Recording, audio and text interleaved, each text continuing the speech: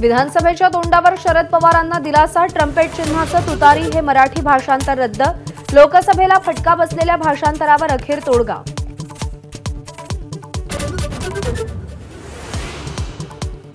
शिवसेनेचे माहीमचे उमेदवार सदा सरवणकरांनी मुख्यमंत्र्यांची भेट घेतली.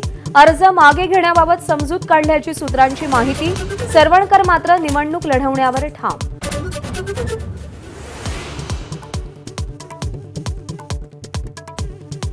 चोवीस तासात देशातील शंभर विमानांना बॉम्बची धमकी.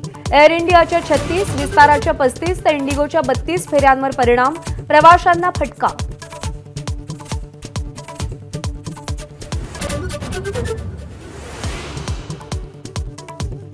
दिवाळीच्या सुट्टीत मध्य रेल्वेचे चार दिवस सुट्टीचं वेळापत्रक तीन नोव्हेंबरपर्यंत रविवारच्या वेळापत्रकानुसार लोकल वाहतूक.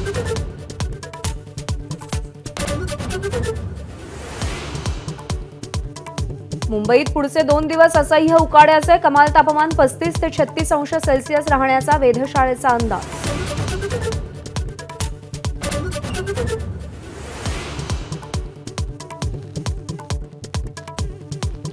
घरोघरी आज लक्ष्मीपूजन सोनं खरेदीकडे वाढता कल तर शेअर बाजारात संध्याकाळी सहा ते सातच्या दरम्यान मुहूर्ताचं ट्रेडिंग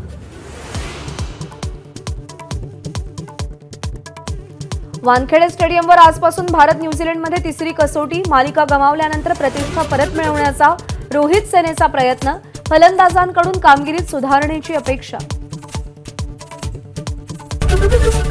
एबीपी माझा उघडा डोळे बघा नीट.